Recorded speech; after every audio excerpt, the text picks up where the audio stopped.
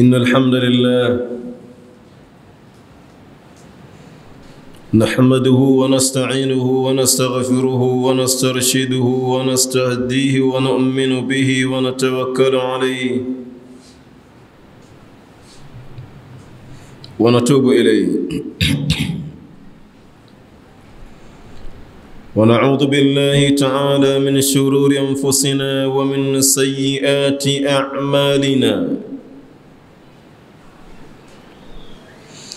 من يهده الله فلا مضل له ومن يضلل فلن تجد له وليا مرشدا. ونشهد أن لا إله إلا الله وحده لا شريك له.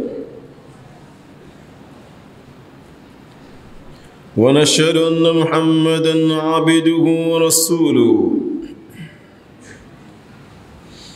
أرسله الله بالهدى ودين الحق ليظهره على الدين كله ولو كره المشركون. نشهد أنه قد بلغ الرسالة وأدى الأمانة ونصح الأمة. وجاهد في الله حق جهاده حتى أتاه اليقين. أما بعد فإن أصدق الحديث كتاب الله تعالى وخير الهدي هدي محمد صلى الله عليه وسلم وشر الأمور محدثاتها وكل محدثة بدعة وكل بدعة ضلالة وكل ضلالة في النار. اللهم إنا نعوذ بك من عذاب النار. آمين.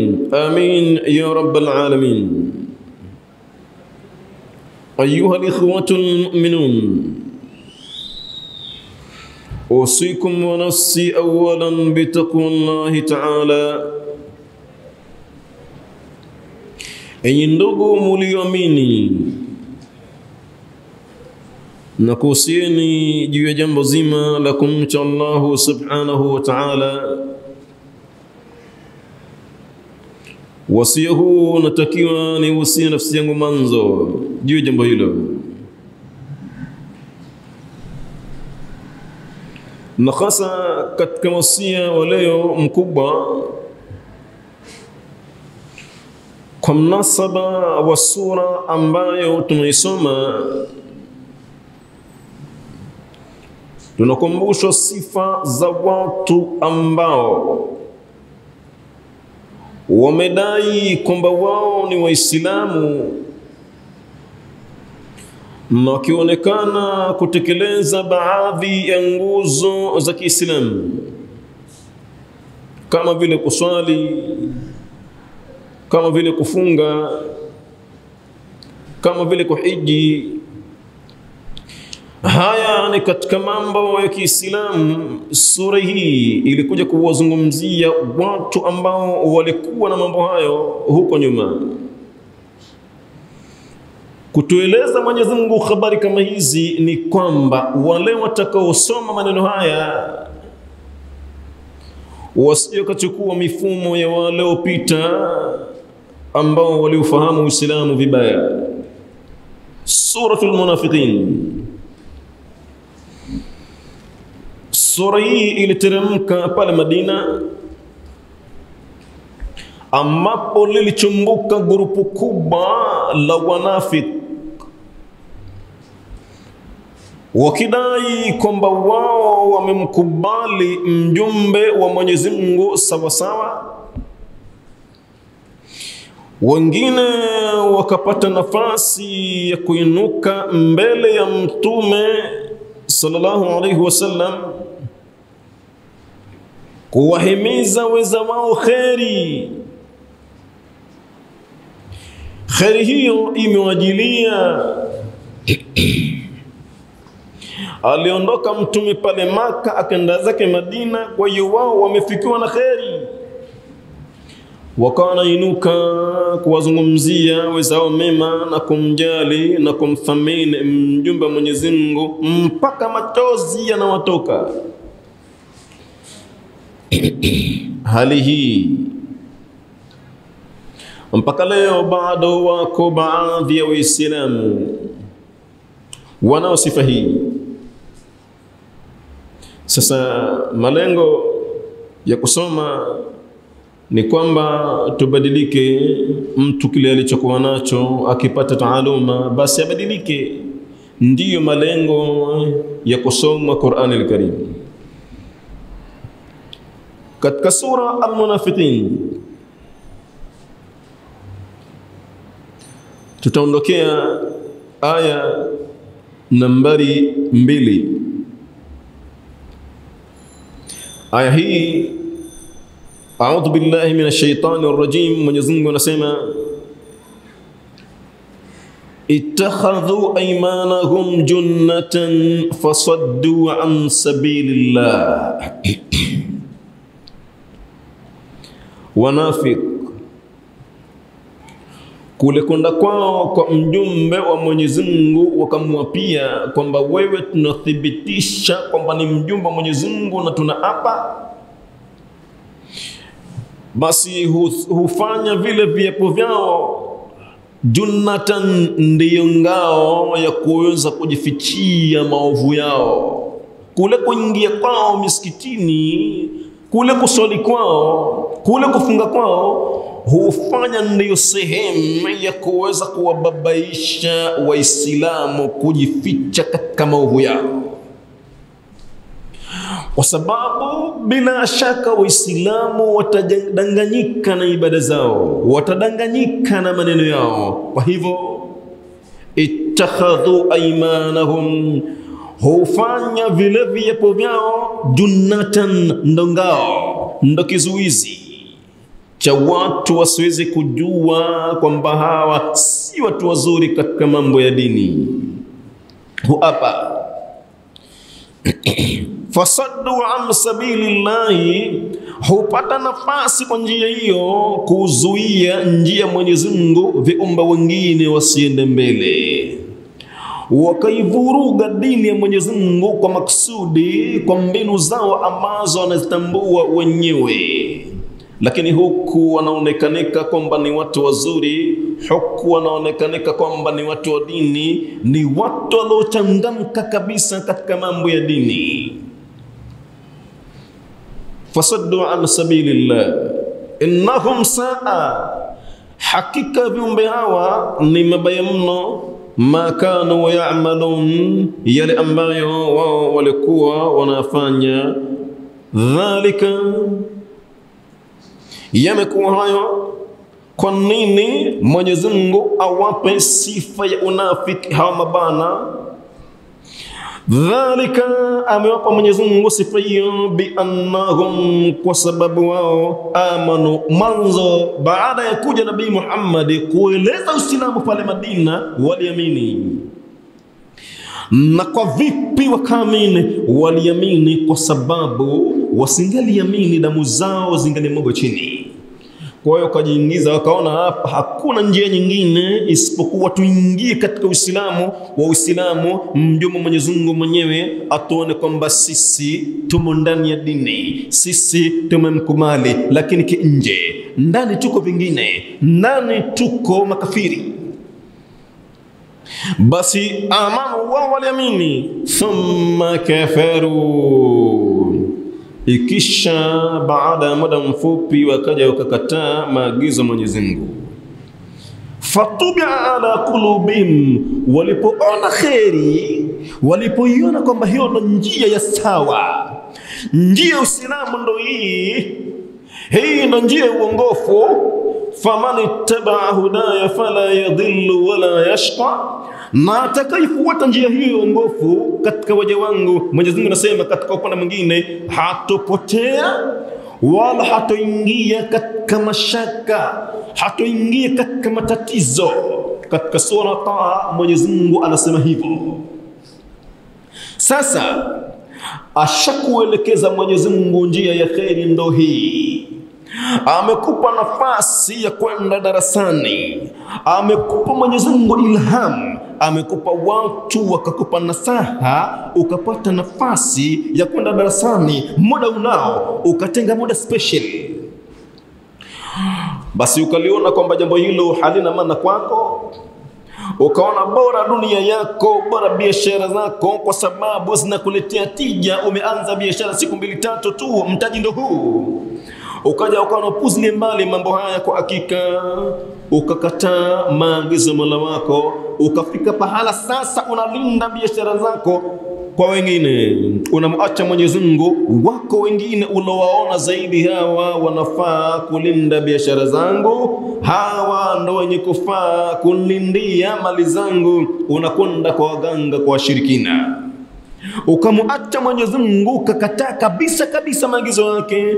fatubia ala qulubihim, Mwenyezi Mungu anachokifanya ni nini katika moyo wako? Ni kwamba Mwenyezi Mungu moyo wako anaupiga chapa, anaubandika plasta jeusi wa in yarau sabila rushdi, na binadamu wakifikishwa katika sehemu hii, hata waonyeshwe au waone wenyewe binafsi njia ya uongofu kwamba ndo hii, la yattakhidhuhu sabila, hawatoichukulia katika akili zao na imani zao na mioyo yao kwamba hii ndiyo njia inayoelekea kufuatwa. Hawatochukulia hiyo, wataona ni kitu cha upuuzi tu wa in yarau sabila alghayyi, lakini wanapoona kwamba njia ya upotevu ndani yake mnapatikana pesa mbili tatu ni ya upotevu, lakini hata izungumzwe namna gani kwamba hii siyo,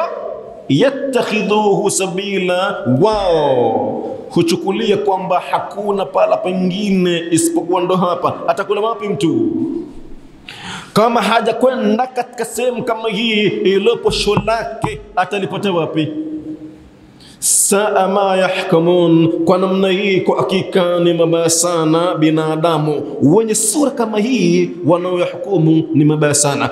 Akisha kuona Mwenyezi Mungu kwamba moyo siwo Mwenyezi Mungu anasema saasrif an ayati alladhina yatakabbaruna fil ardi bighairi lhaqi, nitaondoa jambo la kuweza kufahamika maneno yangu yasieleweke na nani, na nyoyo za wale ambao wanafanya viburi pasina ya wao kufanya hivyo.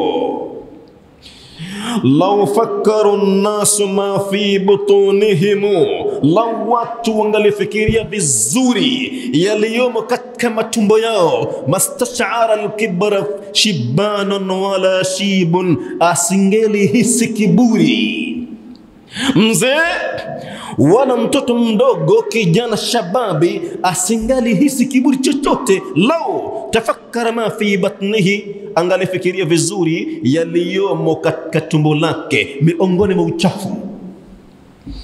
Hata mwenyewe binadamu achilia mbali tumboni, akifanya kijipele kidogo tu, mwili unakuwa sio kabisa, atoa uchafu mwenyewe aweze kukamata kwa mikono yake, anatafuta tambara fulani, kitambaa, anasafisha mwenyewe. Ni nani wewe? Ibn Adam, e mwanadamu, idha gharratka quwwatuk, itakapokuwa nguvu zako zimekudanganya kwamba wewe ni mbabe sana, una maguvu sana, unauliza suala moja tu, falimadha stakamat fika shahwatu, kwa nini? Matamanio yako yanachukua hakatan, yanachukua amri, yanakuendesha mbio unakamatwa na kuku, unakamatwa na bata, unachimba kishimo kwenye ardhi, unatia sponji na mkeo. Una jeuri gani? Kwa hivyo Mwenyezi Mungu akishakuona kwamba siye taba Allahu ala qalbik, Mwenyezi Mungu anapiga chapa katika moyo wako, hutaki tena mambo ya kheri. balrana ala kalla balrana ala qulubihim ma kanu yaksibun. Hapana, Mwenyezi Mungu anapiga chapa muhuri mweusi katika nyoyo kutokana na yale ambayo wao walikuwa na chumu kwa nafsi zao. Akisha kupa Mwenyezi Mungu njia ya kheri, ukaona kwamba sio kawaida yake, ni kwamba Mwenyezi Mungu anapiga chapa katika moyo wako, fahum la yafqahun hata aje mtu mwenye falsafa namna gani, mwenye logic ya hali ya juu, hamjui, hawatambui, hawaelewi anachozungumza nini, kwa sababu Mwenyezi Mungu ashafunga moyo. Ashaepeka maplastiki meusi kabisa na spadlu kausiba moyo nani faman yahdihi min ba'di llah unadhani nani mwingine atokee mwenye falsafa iliyokuwa hali ya juu atakayemwelekeza binadamu akafahamu mambo ya kheri? Nani zaidi ya mwenyezi mungu? Ikiwa mwenyewe ashamwona mja wake kwamba huyu siye mambo ya kheri anayakimbia basi hatokezei mwingine yoyote katika viumbe wake.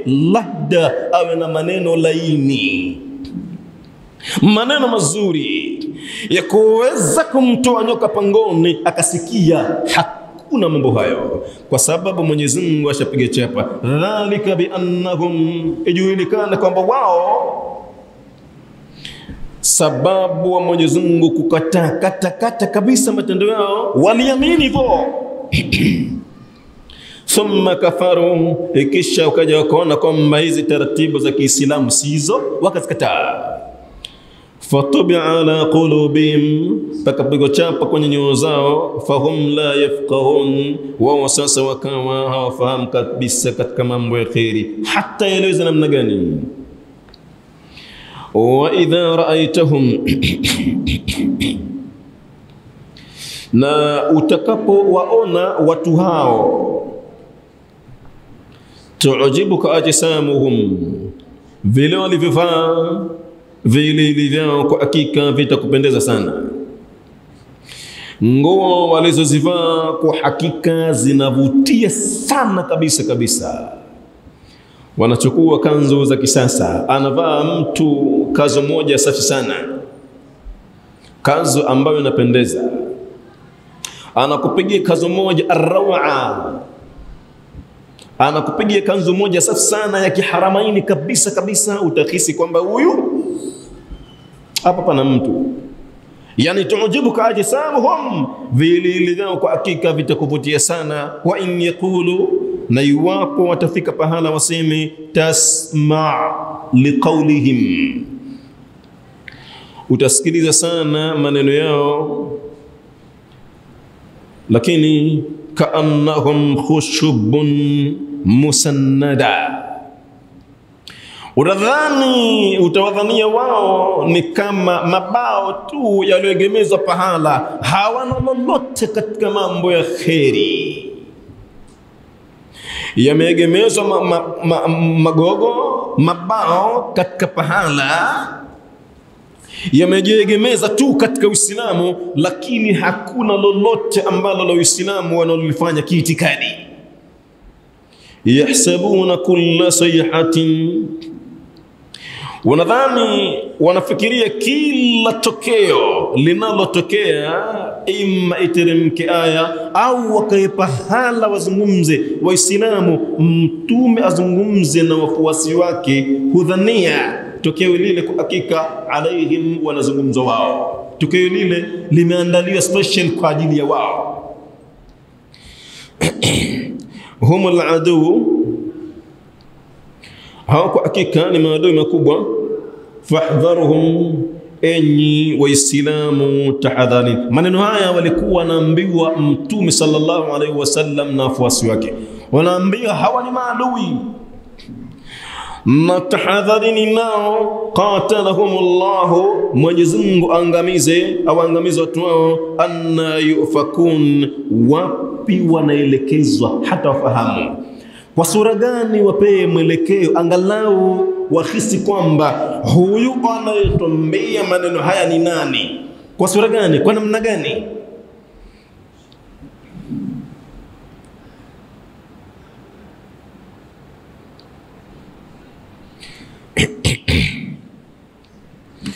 ittakhadhu aymanahum junna ittakhadhu aymanahum junnatan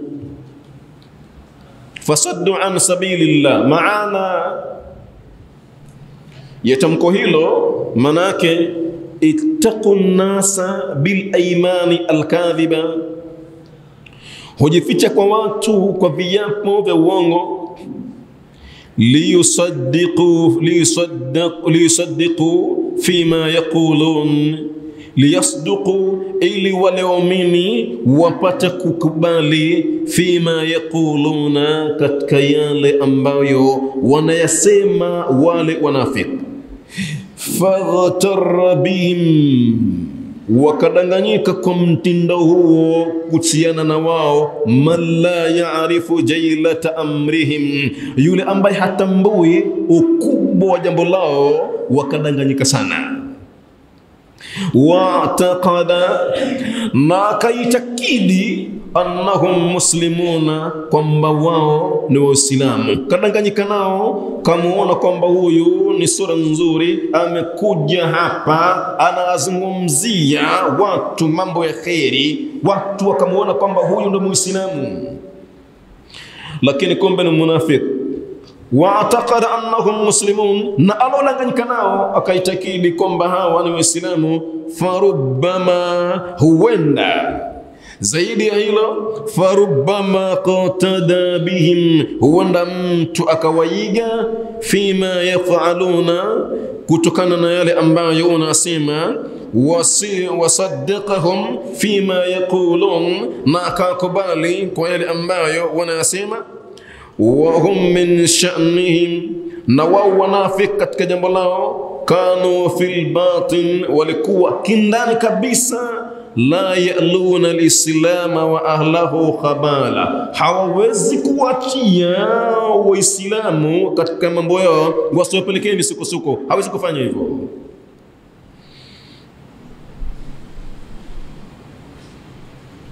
Tayib فحصل بذلك بهذا القدر.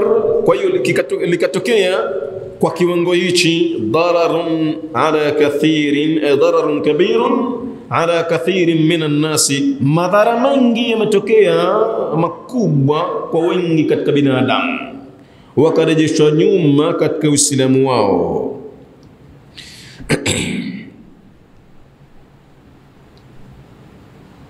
طيب. وإذا قيل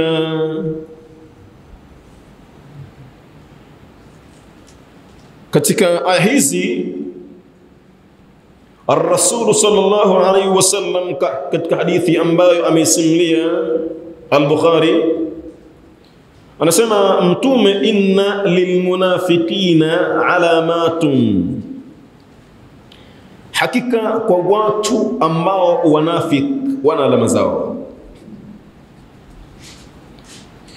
Yarafuna pia wanajulikana kwa alama hizo.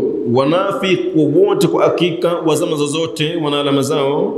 Tahiyatuhum laana, madaukizi yao inakuwa ni laana tupu. Wataamuhum nuhbatun, na hata chakula chao kinakuwa ni chawizi. Wanategemea watu wachume huko, halafu wao wanufaike wa ghanimatuhum ghululun, na hata ngawira zao inakuwa ni udanganyifu mtupu. Wala yaqrabuna almasjida illa hajaran, hawaikurubii hawaikaribii misikiti, hawaingii katika misikiti isipokuwa kwa muda mrefu. Yani misikiti wamekuwa wao wanaihama. Hizi ni alama za watu ambao wanafe kupitia chakula chao, salamu zao zinakuwa sio salamu zile ambazo zile zilielezwa na ziko kwenye utaratibu wa dini. Salamu zao ni laana tupu kabisa kabisa, matusi watu wanapeana huko, ndo wanasalimiana.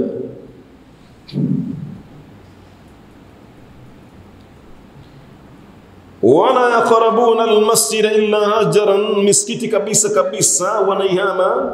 Wala yatuna salata, na dalili za wanafiki ni kwamba hawaiendei sala illa duburan, isipokuwa wanasubiria kwamba huyu imamu sasa yuko katika rakaa ya mwisho, yeye ndo anaingia.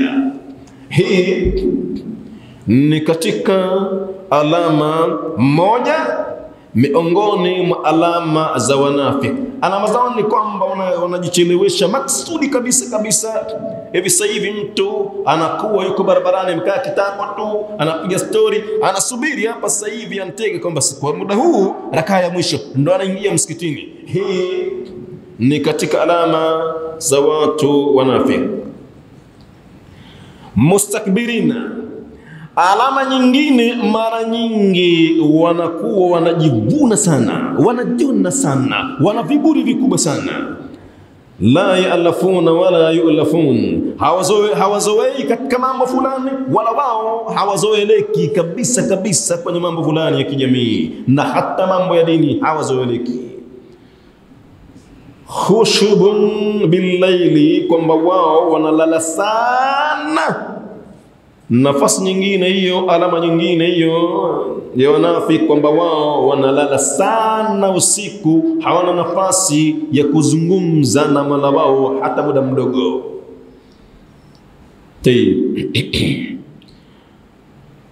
Suhbun bin nahari, inapotokea kutatizana na wenza wao, wanakuwa ni wagomvi, maneno mengi wanainua mpaka masauti kabisa kabisa, kila mmoja apate kujua kwamba hapa anazungumza nani, hapa anamgomba nani. Hii ni katika alama za watu ambao wanafi, kila mmoja apate kujua sauti yake kwamba huyu anamgomba fulani, pengine wamekwaruzana kidogo na mwenzake, oh, atashika adabu yake, kila mmoja atapata habari. Hii pia ni alama miongoni mwa alama za wanafiki وإذا قيل لهم نا باتاكا باسما كوامبي واو تعالوا يستغفر لكم. بس انجون نيني أكو تكيين مصنع رسول الله انجوم من زنغو لو رؤوسهم hugeuza vichwa vyao, waraaitahum yasudduna, na utaona wanajizuia wanajizuilia kwenda kwa mjumbe wa Mwenyezi Mungu kwenda kuwatakia msamaha, wanajizuilia juu ya jambo hilo. Wahum mustakbiruna, na wao wanafanya viburi, wanajivuna, wanacho eti sawaun alaihim, ni sawasawa juu yao. Mtume astaghfarta lahum, ni sawasawa mjumbe Mwenyezi Mungu hao watakie msamaha am lam tastaghfir lahum, au usiwatakie msamaha, ni kwamba maamuzi yaliyopo, lan yaghfira Allahu lahum, Mwenyezi Mungu hataweza kabisa kabisa kuwasamehe watu hao. إن الله لا يهدي القوم الفاسقين. من حوازي حاوزي. حاوزي كبسة كبسة واتو أمباو مفاسق. ولو توكا كتكتا هم الذين. وانديو ونكسيمان هم الذين يقولون عون لي ونكسيما لا تنفقوا على من عند رسول الله. مسيتوه قوال أمباو وكم كم جمب ومن حتى ينفض مبكا ومكمبي مسيو سيدي. لكن ولله خزائن السماوات والأرض. na kwa Allah kuna hazina za mbinguni walakin almunafiqina, lakini watu wenye roho mbaya wanafik la yafqahuna, hawafahamu hilo kwamba Mwenyezi Mungu ndo alokamata khatamu za hazina zote.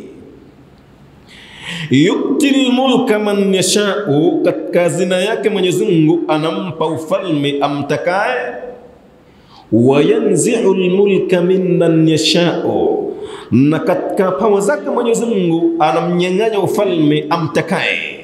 Wayuizzu man yashau, na anamtukuza na kumpandisha juu watu wote wakasalim amri kwake. Man yashau, yule amtakaye, wa yudhillu man yashau, na Mwenyezi Mungu anamdhalilisha kumweka chini yule ambaye alikuwa juu amtakaye mwenyewe.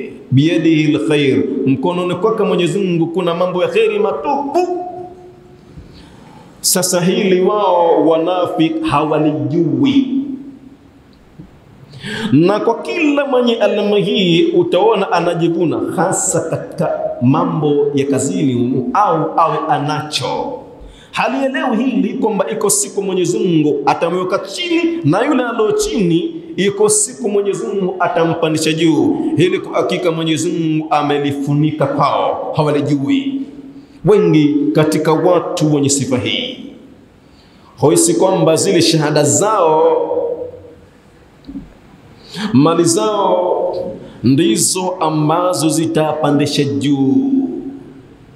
Mtu ana digrii digrii yake, anaona hii ndo tegemeo langu, anamwacha Mwenyezi Mungu. Hatimaye Mwenyezi Mungu anamweka chini, na yule ambaye hakupita hata darasa moja ndo anampandisha juu, na huyo aliokuwa na digrii yake anadhalilika, anatumwa kabisa kabisa na huyu mtu ambaye hata darasa moja kupita, ile kuandika jina lake hajui. Haya kwa hakika ni mambo Mwenyezi Mungu, walakinna almunafiqina, lakini wanafiki la yafqahuna, haya mambo kwa hakika hawayaelewi. Yaquluna, na kwa kuwa hawaelewi kwa wakati ule walikuwa wanasema la irrajana ila almadinati, sisi tutakaporudi kwetu mjini Madina, la yukhrijanna al'azzu, akifika mjini tu shura itakaa, lazima atamtoa yule mwenye nguvu. Minha, katika mji huo, al-adhalla, mdhalilifu. Akikusudiwa hapo mtume na masahaba wake ambao walimkubali. Walillahi alizzatu, qawlihi, Mwenyezi Mungu akaijibu akasema hicho kitu hakiwezekaniki, kwa sababu nguvu zote ni za Allahu wa lirasulihi na nguvu bwana ziko kwa mtume wake, wa walilmuminina, na nguvu ziko kwa waumini kwa sababu kuna chombo maalum ambacho wao wanakitegemea. Walakinna almunafiqina, lakini wanafik tu la yaalamuna, hawaelewi habari hizi. Tuangalie maana ya hizi aya ambazo tumezipita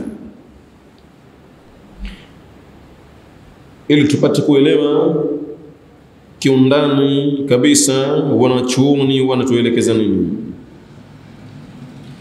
Ibn Kathir anasema yukhbiru taala, mwanachuoni huyu Ibn Kathir rahimahullah anasema Mwenyezi Mungu anasimulia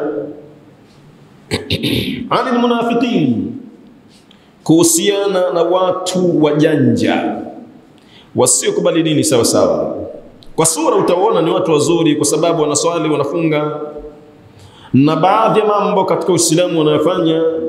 Alaihim la'ainullahi, Ibn Kathir anasema watu wa namna hii, laana za Mwenyezi Mungu ziwe juu yao.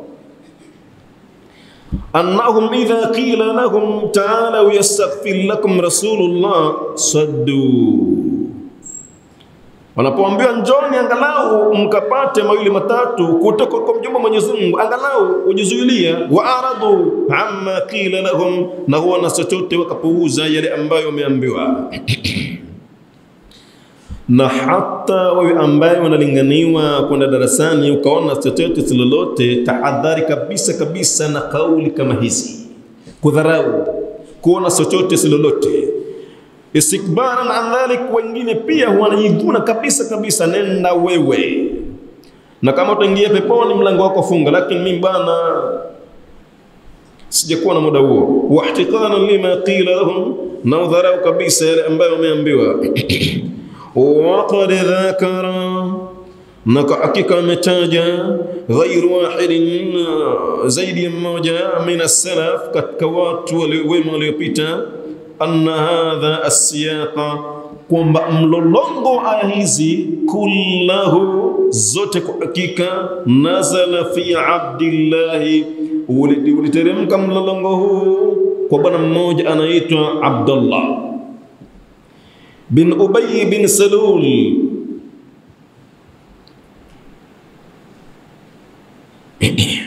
qala ibn Ishaqa ibn Ishaqa amesema walamma qadima Rasulullah sallallahu alayhi wasallam almadinata, mtume alipoingia pale mjini Madina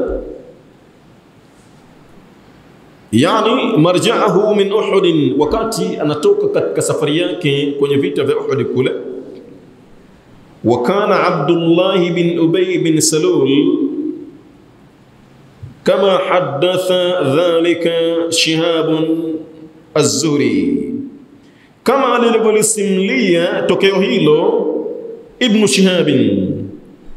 له مقام huyu bwana Abdallah amesema huyu Ibn Shihab, bwana Abdallah huyu, wakati mtume anarudi katika vita vya Uhud, anaingia mjini Madina, huyu bwana kwa hakika, bwana Abdallah pale Madina, kwa hakika lahu maqamun, alikuwa anao nafasi sana kabisa ya kumuhu, ambayo anaisimamia nafasi hiyo kula jumuatin, kila Ijumaa. Alibahatika hii nafasi kupata pale, akishazungumza Mtume, akishatoa khutba pale, akishatoa kalima, yeye bwana Abdallah ibn Salul amepata nafasi hiyo ya kusimama baada ya Mtume kuzungumza mambo ya kheri. Sio choo kidogo hicho, ni choo kikubwa mno hicho, la yunkar na kwa kuwa anasimama mbele ya mtume hapingwi na yoyote waliopo pale. Watu kimya, msikiti mzima unasikiliza Abdallah anazungumza nini. Khatibu ashamaliza, Abdallah na yeye anatoa mchango gani? Hapingwi na yoyote. Sharafan lahu, kwa nini anafanywa hivyo? Kwa sababu ya utukufu alionao min nafsihi, kupitia kwenye nafsi yake kwanza, wa min qaumihi, yeye mwenyewe na hata jamaa zake. Kwa hakika pale mjini Madina walikuwa huyu bwana kwa hakika wanamheshimu.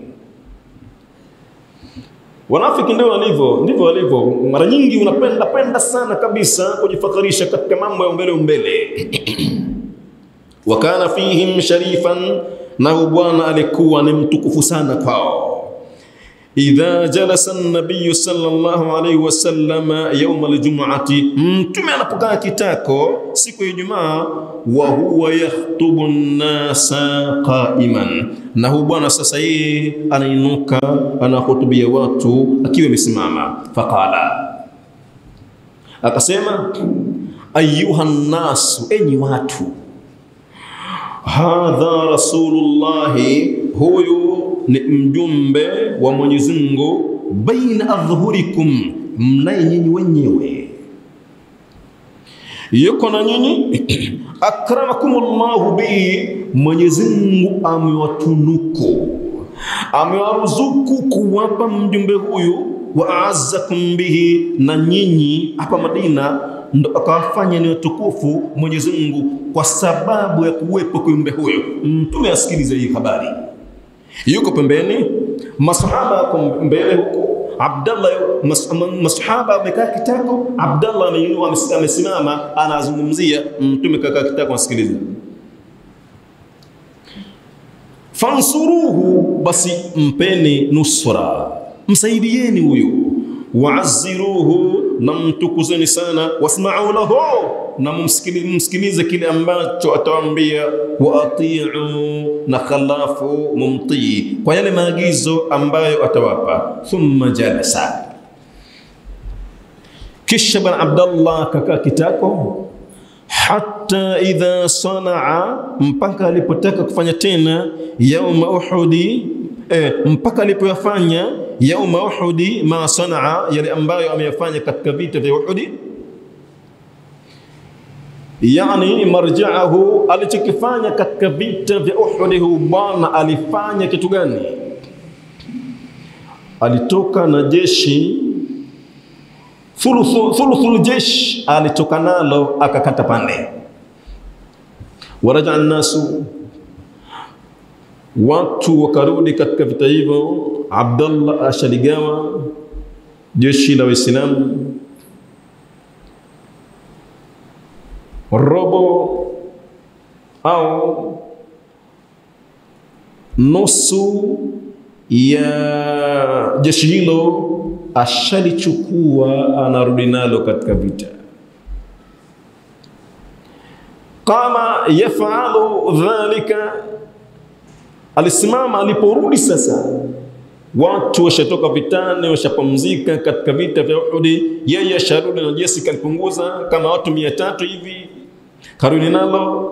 Basi Aliposimama akataka, baada ya watu washapumzika, akataka tena asimame azungumze mbele ya mtume pale, kama kana yafaluhu, kama alivyokuwa mwenyewe analifanya jambo hilo faakhadha almuslimuna, sasa Waislamu wakabonyezana wakaambizana, wakamchukua bithiyabihi bithiyabihi min nawahaihi, wakamkamata nguo huku watu wamemkamata na huku wakamkamata.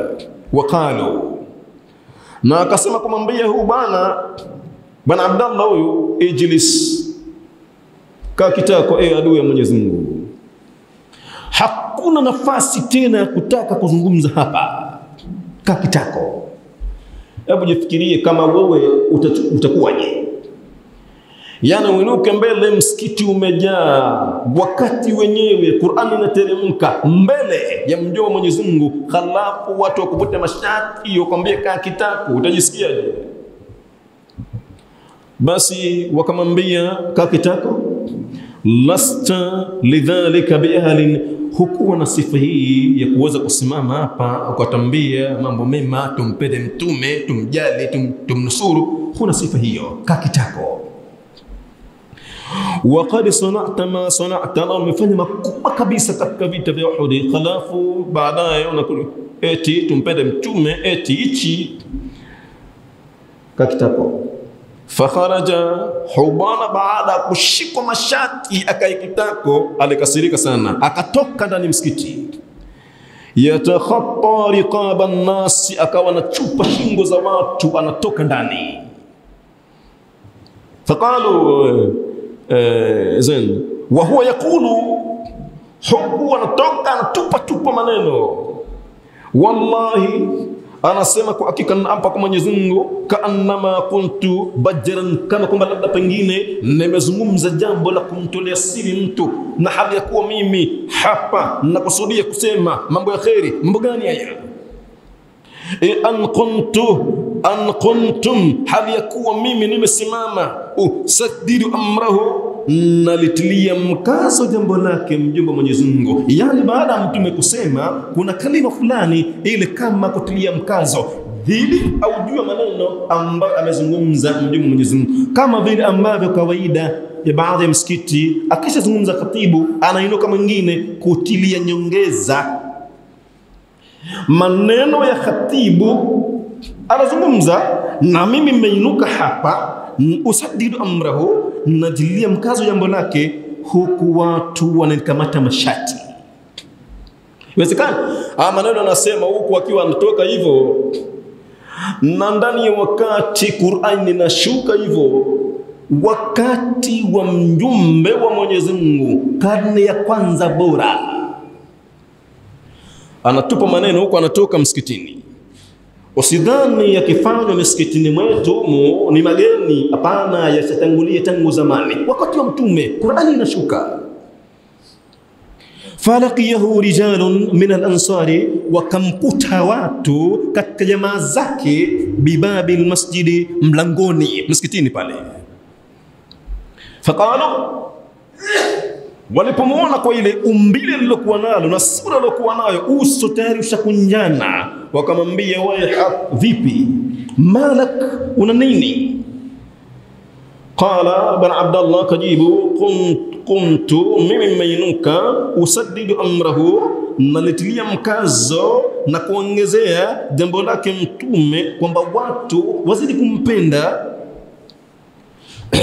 fawathaba ala rijalin min ashabihi. Sasa kuna watu katika wasi wake mjuma Mwenyezi Mungu yajidhubunani, wananikamata na kunivuta mimi wa yanifunani, na wananizuia wananifanyia ugumu, lakin lakaannama, kama kwamba mimi kuntu bajaran, nimesema jambo ambalo la aibu, kama kwamba amefanya hivyo, huku anikamata mashati mbele za watu namna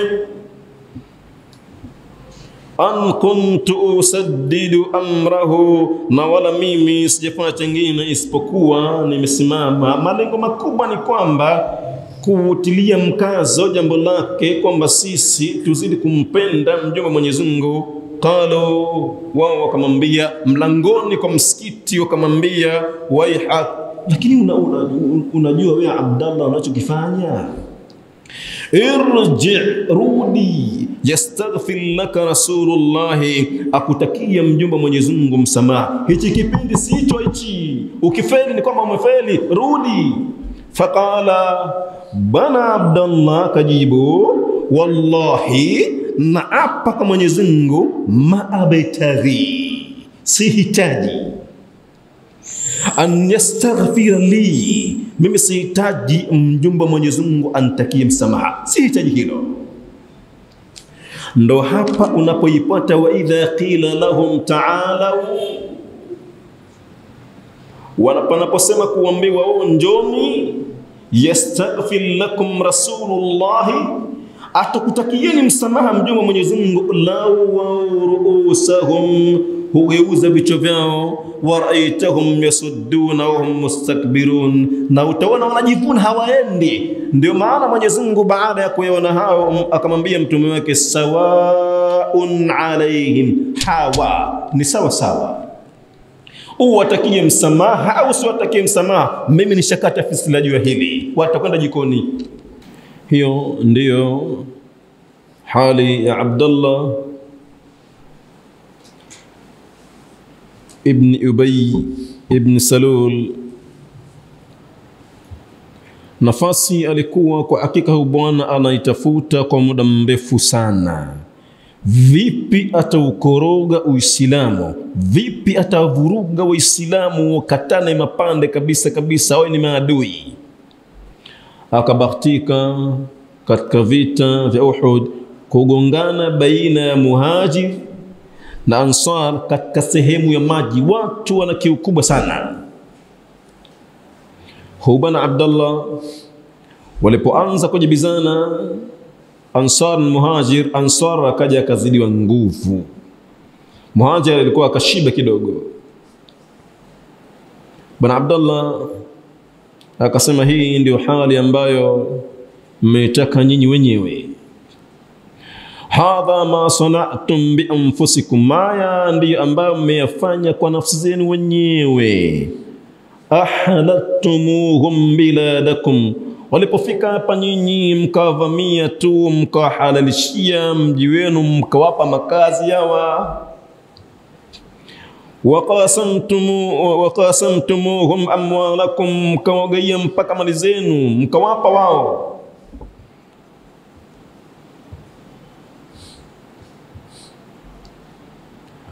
Amma wallahi, nasema lau nyinyi lau kafaftum anhum, lau mngaliwazuilia hawa haya majumba yenu hayo na maeneo yenu msingeliwapa hawa, la tahawalu ankum min biladikum ila ghairiha, hapa ungaliondoka hapa, ndo utaipata maana tamko la Mwenyezi Mungu la tunfiqu ala man inda rasulillahi hatta yanfaddu, msitowe kwa wale ambao wako kwa mjomo Mwenyezi Mungu mpaka mkimbie. Sasa nyinyi mmewakaribisha wenyewe, ndio maana Waarabu walisema samin kalbak yakulak, mnanepeshe, mlishe vizuri sana mbwa wako, siku moja kutafune. Mmeona hali hii? Sasa tulikuwa tunakataa sana kabisa mambo haya tunajificha sana, lakini nyinyi mkajitia mapenzi makubwa sana. Mmeona hali anapiga mtu wenu leo hii. Hiyo ndiyo hali za watu ambao wanafiki walivyo, na kawaida yake Mwenyezi Mungu Subhanahu wa Ta'ala, ma kana Allahu liyadhara almu'minina, hawaati Mwenyezi Mungu kabisa waumini ala ma antum alayhi, katika hali mlionayo hata yamiza alkhabitha min at-tayyib, mpaka kuna siku Mwenyezi Mungu atambagua mbaya kutokana na mwema, atakuja kuyazungumza maneno Waislamu washangae, mpaka huyu. Hakadha huyu bwana, kwa hakika mambo alikuwa ameyaficha muda mrefu, alipopatia nafasi ndo akaweza kuyazungumza, na akafa hali ya kuwa ni munafik na wanafiki wanajulikana sehemu zao fi darki lasfali minan nari, na Mwenyezi Mungu ashatwambia sawaun alaihim astaghfarta lahum am lam tastaghfir lahum, uwatakie msamaha usiwatakie msamaha, lan yaghfira Allahu lahum, Mwenyezi Mungu hatawasamehe. Leo tufikeni hapa, inshallah takuja kuendelea darasa ijayo. سبحانك اللهم بحمدك نشهد أن لا إله إلا أنت نستغفرك ونتوب إليك. سبحانك ربك رب العزة عما يصفون وسلام على المرسلين والحمد لله رب العالمين.